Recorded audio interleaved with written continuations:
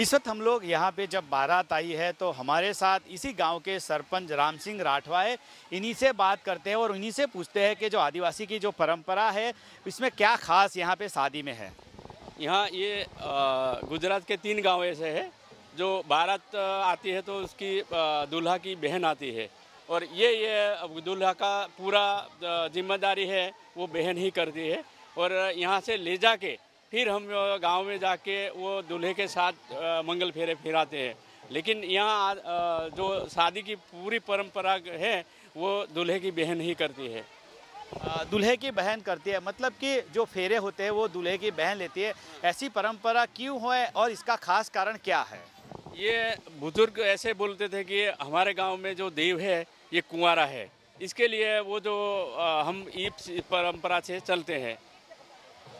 और खास जो आपकी यहाँ पे शादी में और क्या खास बातें होती है, जो बारात आती है और बारात में लोग आते हैं तो और कौन सी खास बात ये शादी में होती है? खास बात तो नहीं है, लेकिन ये जो लड़की आती है, दूल्हे की बहन ने, यही हमारा खास ये होता है। लेकिन हम दूल्हे तो तो नहीं ले जा सकते। बरसों से ये परंपरा चलती आती है, हम भी इस परंपरा पर चलते हैं। राम सिंह भाई ये बताया कि शादी हो जाने के बाद दूल्हा और जो दुल्हन है उन लोग का मिलन किस तरह होता है वो दोनों कब मिलते हैं? जो दूल्हा है दूल्हा और दुल्हन यहाँ से हम बारात लेके वापस घर जाते हैं।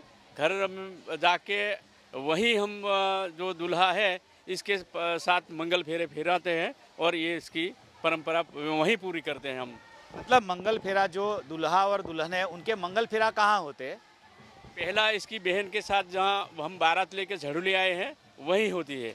फिर बाद में जाके जो परंपरा के साथ हम गाँव में भी ये आ, मंगल फेरा फिराते हैं। और यहाँ ही हम सब काम पूरे करते हैं। तो ते, ये थे राम सिंह राठवा सरपंच, जिन्होंने बताया कि आदिवासी समाज की ये सालों पुरानी परंपरा है, आज भी कायम है और इसीलिए जो दुल्हा है, वो नहीं आता है और दूल्हे की बहन आती है, क्योंकि ये उनकी सालों पुरानी परंपरा है और उनके जो देव है उन्होंने वो कुंवारे थे। इसी वजह से ये सालों से ये लोग परंपरा निभा रहे हैं। नरेंद्र पेपर वाला नर्मदा।